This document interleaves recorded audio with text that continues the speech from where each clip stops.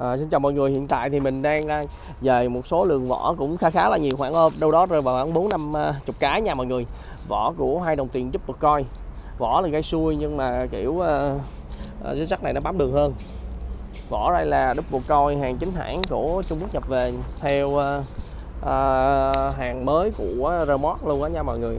Móc này vỏ này thì chưa lắp vào xe. Chưa lắp vào mọt. Đó là 18 lớp 4 BR hết size thì 12 R 2.5 hết. Vỏ rất là đẹp nha. Này là đát năm 2022 tháng 9 tháng 10 năm 2022 nha mọi người ơi. Vỏ rất là nhiều. Thì giá cả thì à, mình à, nhập về thì cũng kiểu à, à cho anh em sử dụng nên là giá cũng rất là yêu thương so với tất cả những dòng sản phẩm double coin trên thị trường thì hầu như là vỏ thì về thường xuyên á. Đợt này mình cũng về hơi thường xuyên. Về thì cũng không có nhiều, tại vì về khoảng à, đâu đó vào khoảng à, 50 cái đến trăm cái thôi. Anh em nhanh tay thì mình qua mình lựa chọn nha. Vỏ thì cực kỳ nhiều anh em ơi. Này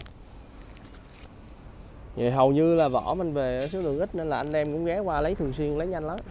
Thì một cái mọt thì 12 vỏ rồi. Mình lấy có hai ba cái mọt là mình hết vỏ luôn rồi anh em có cần thì liên hệ đến số điện thoại của em nhé. 0932 à, 795 695 0981 82 3539 à, ngoài ra thì có vỏ thì mình có mâm nữa mâm không ruột luôn nha mọi người ơi.